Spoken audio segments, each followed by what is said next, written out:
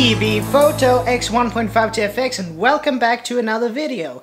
Well, Photokina is in full swing as we all know and it doesn't seem to be an end of the marvelous new technologies that are, you know, shown at this. But this time it's not a market, direct to market technology. This is a concept that uh, a famous brand has put out. And I'm talking, of course, about Hasselblad. And Hasselblad, who has now shown at Photokina the V1D concept camera. Well, V1D, this seems to be a kind of a throwback to the Hasselblad 500 series of cameras, at least when it comes to the overall look of the camera.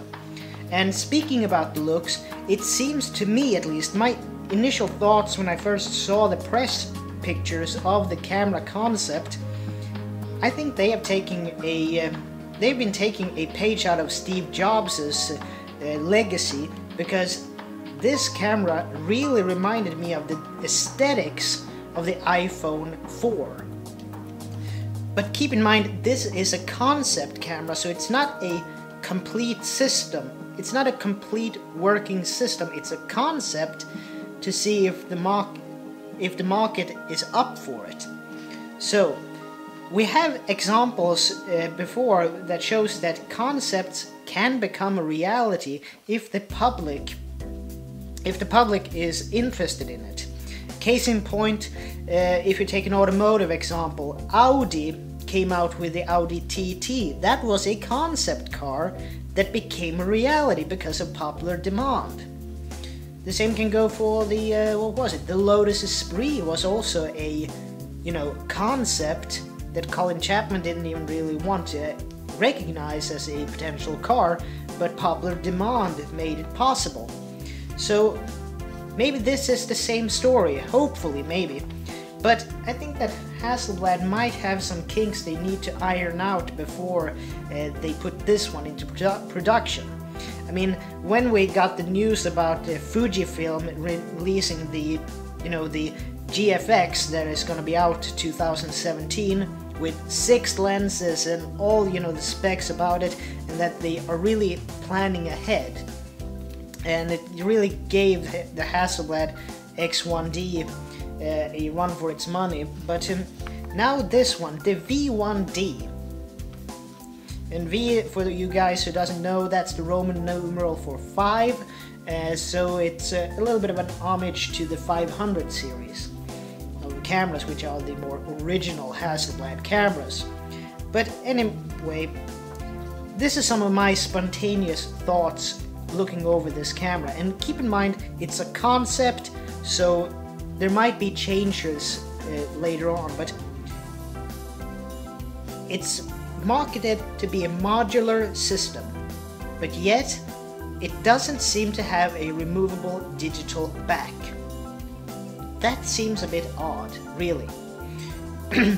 They've gone with a kind of a older iPhone-esque minimalist design, but have they gone too minimalist? You can go minimalists and it's functional, but when you go too minimalist, it kind of become uh, limiting. Case in point, you can uh, look at the uh, Mamiya 645E model that came out in 2000. So that is a camera that can be a little bit too minimalist. Yeah, but do they have do they have enough physical controls on this camera? It seems to be a little bit of a renaissance now, it seems, uh, with cameras having a lot of analog, you know, controls on it. You know, like uh, Fuji's other cameras, you have the Sony Alpha line, uh, Nikon and Canon. Uh, it's a little bit of a mixed bag and so on, but it seems like a lot of cameras today. I mean, Nikon did a failed attempt with the FD, but it seems like Fuji took the same approach but made it right. And uh, I don't really know. I well, I would like to hear from you now, dear viewers. Put a comment in the link in the you know in the comment section below, and what are your thoughts about this? But are there too many or too few physical controls on this camera and do you have to go into, you know, menus and so on on the back screen and go into you know menus and sub menus and so on. It, I mean that's basically why Nokia uh, Nokia telephones went uh, out of fashion because they were too made for engineers. They were too engineered with sub menus and menus and sub menus and menus and menus. So that is a little bit of a concern that it becomes minimalist, but then software wise, it becomes too complex. well, they they've basically they've blend, blended in a lot of design cues from the old 120 film 500 series, and they've managed to put in two displays in this, one top and one back. But uh, can both of these displays perform the same functions? For instance, if you have a videographer, because they've actually hinted at that this camera would be a little bit about video as well. So can you use the back screen with a viewfinder? You know, like a lot of filmmakers might want, they might not just want to have the top screen to have as a live view, but can the back display also do live view? That's something that I would like, like to know from Hasselblad. Um, but the top screen, they've actually showed this with a lot of pictures where you had, you know, waist level viewfinders and pentaprism viewfinders that are attachable to the top. So you have options in that aspect at least.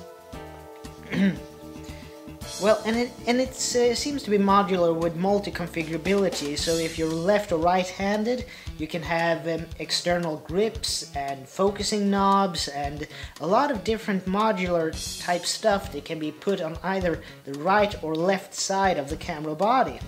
So it's uh, really innovative with that type of modularity, so it can suit everybody. So it's they basically made a Meccano set out of the camera and that might be a good idea because a lot of uh, I put a link in the description below about a, a fashion photographer who lives in Japan and I don't really remember his name but he has a Mamiya RZ67 digital back that he has customized and it, he had turned he has really turned it into a Frankenstein camera so link in the description to go and view his channel as well. But anyway, there seem to be a lot of, you know, different little things that this camera can be, you know, have in the accessories department. But um, here's a quote from you, and I bet you'll never get who said this. Everything that is complex is not useful, and everything useful is simple. And that was this guy's life work. So if anybody out there knew who said that, drop it in the comments below. But anyway, a little bit then that that is a little bit disconcerting. Uh, why don't they make this into a camera with uh, replaceable digital backs? Because if you, if you heard Fuji's announcement yesterday about the, uh, you know, the uh, F uh, GFX, I can't never remember those combinations. The GFX, they said that the new uh, line of lenses that that camera is going to use uh, are rated up to over 100 megapixel uh, 100 megapixel sensors. So they're planning ahead. So why not do the same with this Hasselblad that you have replaceable digital backs? Because you do have that on the H5D and the H6D which are Hasselblad's two flagship uh, medium format digital SLR cameras. So why not future-proof this in order to, you know, keep it going. Because thinking about it, the Hasselblad 500C medium format camera, that was, you know, introduced in 1957 and it's still going strong with a lot of guys out there. And Hasselblad has even themselves released the digital back known as the CFV50C. And there are a couple of guys on YouTube who have done reviews on it, Matt Granger being one of them. so also, that's one gripe for me that why not make this so you have interchangeable digital backs so when new improved sensors comes out and larger better resolutions, higher megapixels, even lower megapixels, entry level sensors and so on. Why not make it so it you have a plethora of digital backs for this camera? That would be a real game changer in my opinion. And also, for Hasselblad, you really need to make this 4K compatible. Imagine having a medium format sensor that will be able to do 4K video because they have hinted that this camera is gonna be, you know, not just for still photographers.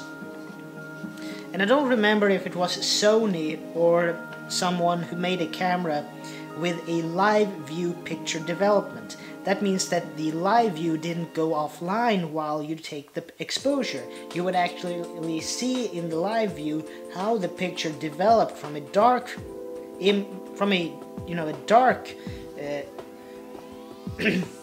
display to the complete exposure. So that got me thinking. Uh, a lot of now nowadays they talk about how mirrorless is the future. Well, maybe the future also will be shutterless because a lot of cameras yet today like the X1D and the Fuji GFX they both still have shutters, mechanical shutters and it seems to be that one of the driving forces behind mirrorless is to prevent mirror slap up. So why not do away with the shutter as well? I mean, is it really that difficult to do such a system? I mean, why don't we put a kind of a RAM memory in the camera before the buffer space so the RAM memory will only collect data from the sensor until you got the desired amount of exposure and then dump it into the uh, the buffer space and then from the buffer space to the memory storage on the camera, whatever system it might be, if it's XQD or CFast or SD or whatever you, whatever you have. So in that case, we're not going to talk shutter speed anymore. Maybe we're going to start to talk exposure speed. But that's just one of my, you know, spontaneous thoughts. But anyway, this is Tobias Bergstrom from TB Photo X 1.5 TFX. I will see you guys in the next video. Take care from now. Bye.